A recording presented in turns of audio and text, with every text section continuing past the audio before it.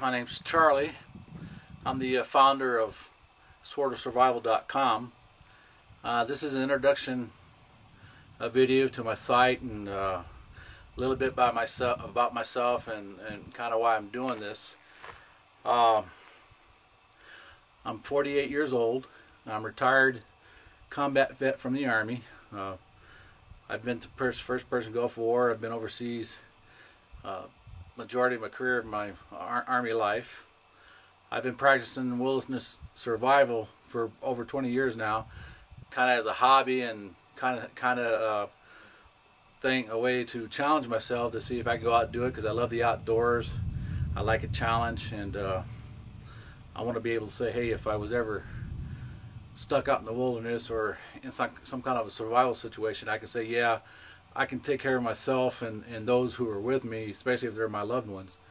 Uh, I believe wilderness survival or being able to survive some way or another is a very important uh, tool to have as far as your knowledge uh, because it will save your life and it can and, and many people have have uh, uh, been able to make it out of the wood, uh, wilderness and in whatever survival situation they're in and those that don't have the will to survive or don't have the knowledge end up don't don't make it back and end up becoming a, a statistic.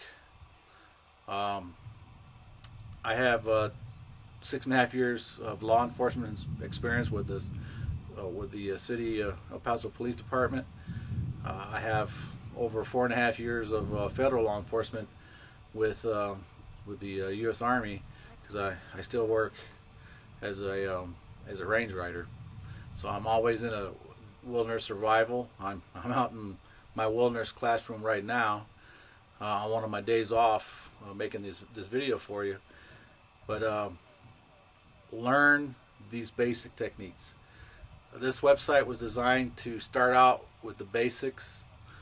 Uh, once you learn the basics, you'll start to get an idea of, of, of moving into advanced uh, techniques because you start to get the the wilderness mindset. You say, hey, uh, this situation will could work for that. You know, well, what I just made here or learned here, I can I can use it for this other thing. So having the knowledge, the more knowledge you have, the better prepared you're going to be. Okay, I always bring this with me. This is my wilderness survival kit. Uh, I'll, I'll have several other segments that deal with uh, survival kits. Uh, you know, being prepared. Mine I like like it in the vest form because I can it'll be with me everywhere I go. So I'm hoping uh, that you'll be able to learn from the techniques uh, from my website that someday it will help you. Um, this will eventually lead up to urban survival skills, which I believe pretty soon with the way the economy is going, everything that we may need some type of urban survival skills.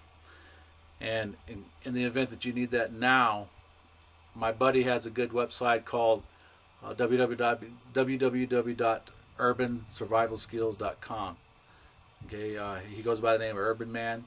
So if you want urban skills, he has a very excellent site. So you can go there to learn your urban survival techniques, and then you come uh, check out my website here for for your basic woodland uh, type survival skills. So again. Um, I'm hoping that uh, you'll visit my site often, that you'll learn from what I had to teach. Uh, I'm by no no means a, a, a, an expert. Um, I one day will be an expert. Um, I'm just being a little uh, bragging a little bit on myself, but um, hope you enjoy the site. Uh, I'm not expert cameraman. I usually my cameraman's with me, but I'm I'm on my, my own today. It's probably about 100 and one degrees out here today right now. So I got to get used to the heat, and so will you. So learn, practice, stay prepared, stay alive. I'm Charlie, swordofsurvival.com. Thank you.